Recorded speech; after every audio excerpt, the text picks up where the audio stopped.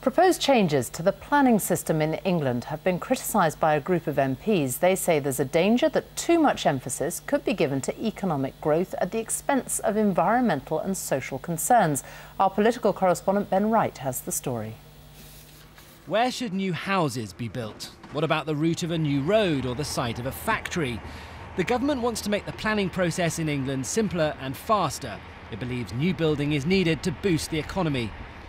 There's a serious housing shortage too. And at the heart of the government's draft proposal is an instruction to local authorities to say yes to new building plans, so long as they're sustainable developments. MPs say this key part of the government's guidance should be scrapped. I think there's been a, a, general feeling that the document uh, is too weighted simply to economic development uh, at the expense of, of social and environmental factors. What we're saying is there has to be an even balance. Planning projects raise passions, and some campaigners argue that the government's guidance doesn't do enough to protect the environment. It brings out what we've been saying um, since the original draft policy was published, um, which is that the government needs to be really careful to treat economic, social and environmental issues equally in the planning system um, and not prioritise um, one over the other. The Green Belt is protected in the plans, and today's report welcomes a commitment from the government to develop on brownfield land first.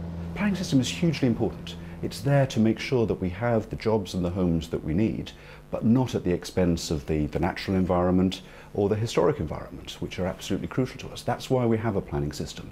Very important uh, commitment that we have to maintain a planning system that balances all of these things. That's what we're determined to do. Ministers are also being told to sharpen up the language in the new guidance. MPs say a lot of the wording is woolly and vague It could end up slowing down the planning process by bogging it down in appeals.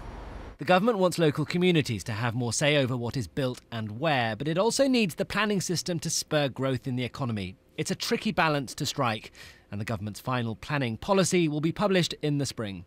Ben Wright, BBC News, Westminster.